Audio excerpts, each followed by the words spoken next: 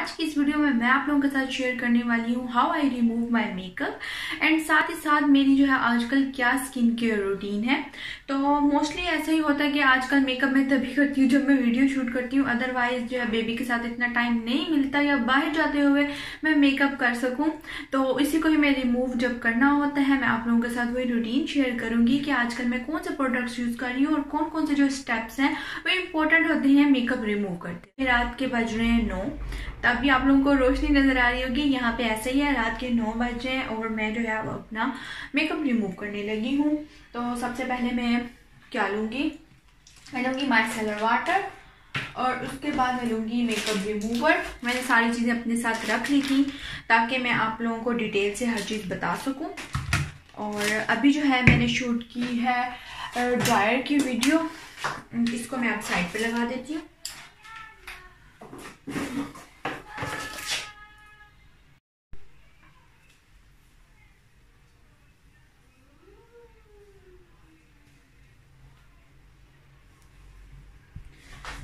Okay जी।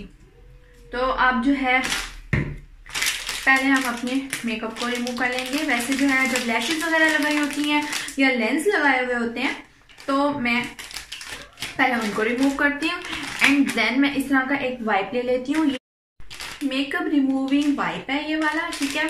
और इसके जो है, आपके पास कोई भी हो, आप उससे भी कर सकते हैं। मोस्टली मैं जो है अपने बेटे का भी यूज़ कर लेती हूँ, जो उसके वेट वाइप्स होते हैं, उससे भी यूज़ कर लेती हूँ, क्योंकि वो अल्कोहल फ्री होते हैं, बच्चों के जो होते हैं। और मैं ले रही हूँ गार्नियर का माइसेलर वाटर इस पर मैं थोड़ा सा लगा लूँगी वाइप पे। इस तरह इजीली जो हो जाता है मेकअप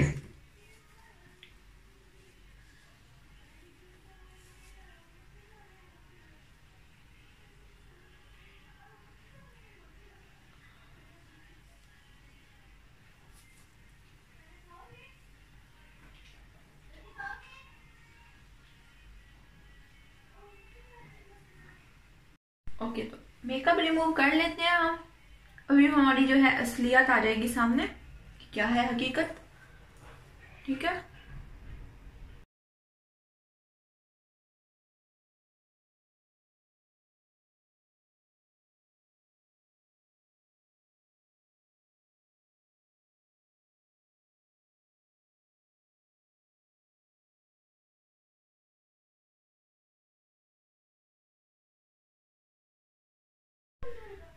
ओके जी तो ये हमारा सारा मेकअप हो गया रिमूव देखें, एक टिश्यू ही काफ़ी है, उससे जो है इजीली हो जाएगा.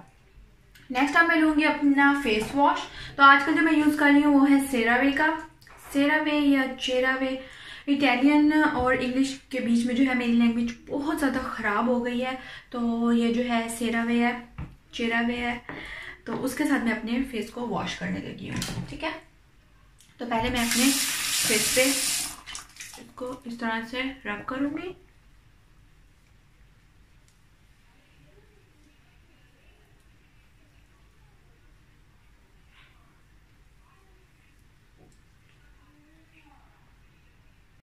ओके okay, तो मैं यहाँ पे ले रही हूँ अपना फेशियल मसाजर तो इससे हेल्प से इसकी हेल्प से ये होगा कि डीप क्लीनिंग हो जाएगी।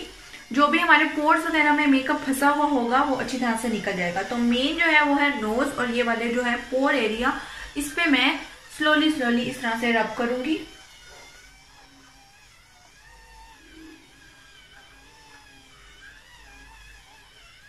अगर आप लोगों ने मैट लिपस्टिक लगाई होती है, जिस तरह लिक्विड लिपस्टिक होती है, वो भी बहुत इजीली इसके साथ रिमूव हो जाती है।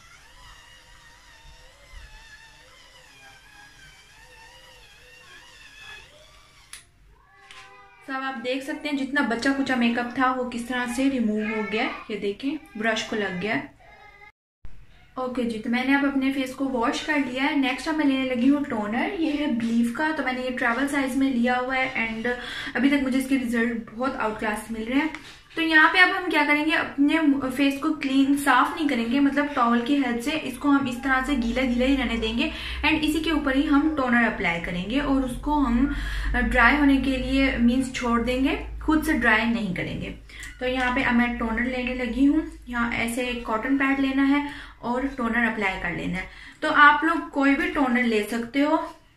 लाजमी नहीं है कि जो मैं यूज़ कर रही हूँ, वही वाला ही टोनर लेना है। कोई भी टोनर आप लोगों के पास हो, वो वाला आप ले सकते हो। ठीक है? टोनर अप्लाई करने से ये होता है कि हमारे जितने भी लार्ज पोर्स वगैरह होते हैं, वो श्रिंक हो जाते हैं।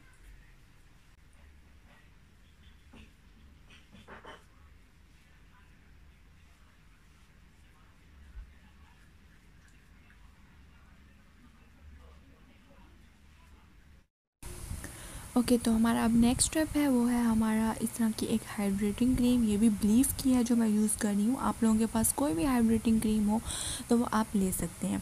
तो ये जो है मैं हाइड्रेटिंग क्रीम लगा रही हूँ। अगर आप यहाँ चाहें तो आप कोई स्क्रब भी यूज़ कर सकते हैं। स्क्रब यूज़ करके उसके बाद आप मास्क अप्लाई कर सकते हैं। मास्क वॉश करने के बाद ही आप कोई जो है हाइड्रेटिंग क्रीम लगा लें। तो मैं यहाँ पे हाइड्रेटिंग क्रीम इसलिए लगा रही हूँ क्योंकि मैं जो मास्क यूज़ करने वाली हूँ ना, वो है स्लीपिंग मास्क यानी कि उसको हम लगा के सो जाएँगे एंड नेक्स्ट डे वॉश करेंगे। इसलिए मैंने क्या किया कि मैंने पहले हाइड्रेटिंग क्रीम लगा ली अपने फेस पे क्योंकि टोनर लगाने से थोड़ी जो है स्किन इस तरह से ड्राई हो जाती है। इसलिए मैं पहले क्या करूँगी हाइड्रेटिंग क्रीम लगाऊँगी एंड देन उसके बाद जो है मैं अपना मास्क लगा लूँगी। नेक्स्ट है ये आई क्रीम आप अपनी फेवरेट आई क्रीम लगा सकते हो। ये वाले जो मैं आप लोगों को स्टेप्स बता रही हूँ ना, ये सारे वो स्टेप्स हैं जो हमारी स्किन केयर में आते हैं। और हमारे पास जो प्रोडक्ट हो या जो हमें सूट करते हों, वो आप कर सकते हैं अपनी मर्ज़ी से यूज़ कर सकते हैं उन प्रोडक्ट्स को।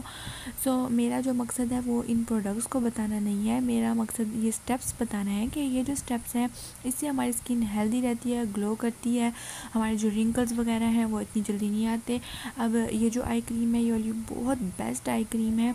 अगर आप चाहें तो यही भी यूज़ कर सकते हैं और जो आपकी फेवरेट हो जो आप डेली बेसिस पे यूज़ करते हो वो वाली भी आई क्रीम आप यूज़ कर सकते हैं।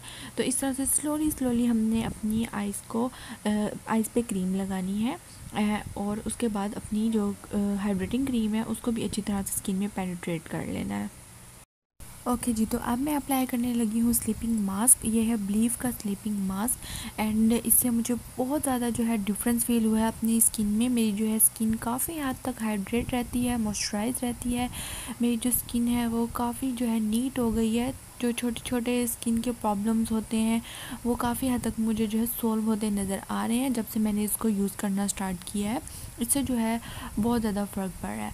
अगर आप लोग चाहें तो आपके पास स्लीपिंग मास्क नहीं है तो आप रेगुलर कोई भी शीट मास्क या कोई भी दूसरा मास्क होता है पील ऑफ़ मास्क वो भी अप्लाई कर सकते हैं।